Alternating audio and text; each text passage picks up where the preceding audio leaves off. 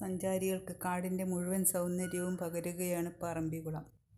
Jungle സഫാരിയും കാട്ടിലുള്ള താമസവും ഒക്കെയായി മികച്ച സൗകര്യങ്ങളാണ് ഒരുക്കിയിരിക്കുന്നത്.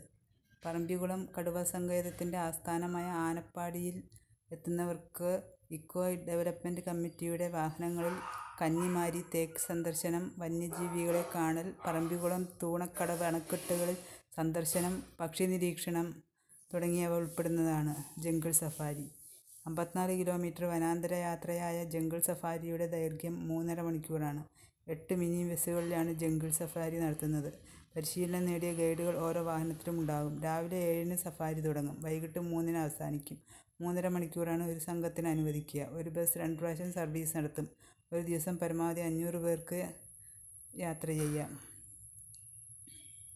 ഒരേസമയം അമ്പത് മുതിർന്നവർക്കും അനുബന്ധമായി കുട്ടികൾക്കും താമസിക്കാൻ ഇവിടെ സൗകര്യമുണ്ട്.